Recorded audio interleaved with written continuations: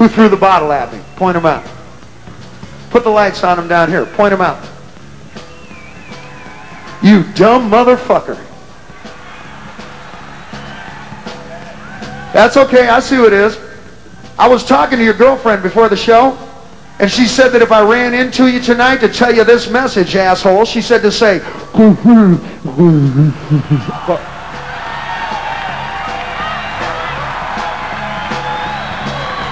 You a rowdy bunch of motherfuckers, ain't you? well,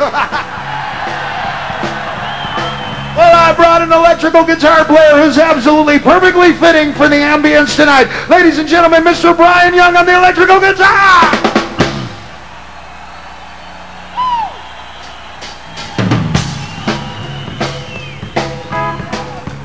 I want to fuck with this guy a little bit more. Your girlfriend was right. You are irritating.